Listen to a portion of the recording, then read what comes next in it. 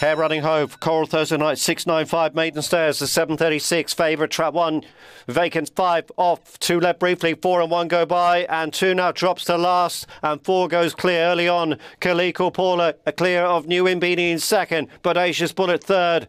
Abiella's now relegated. Fun loving Susie to be back marker. Well strung outfield into the back straight. And Kaliko Paula is five lengths clear the field. New Imbini the favourite second.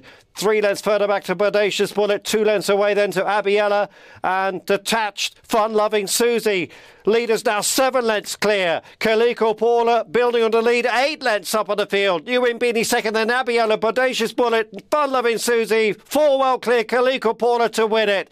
Abiella up for second. Four beats two.